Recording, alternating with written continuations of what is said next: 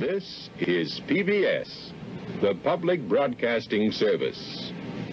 Um, Diane. I think we've got a little problem here. You're right, Mr. P. Head. That is the first PBS logo, from 1970.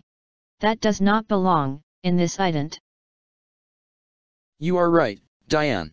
I should have the letters, PBS, in Times New Roman font, underneath. I'm sorry, 1970 Public Broadcasting Service text, I'm gonna have to ask you to leave. You heard what she said? Get out of here, or else you'll end up in big trouble. This is BS.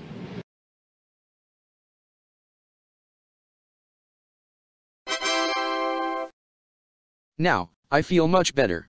No more dead weight.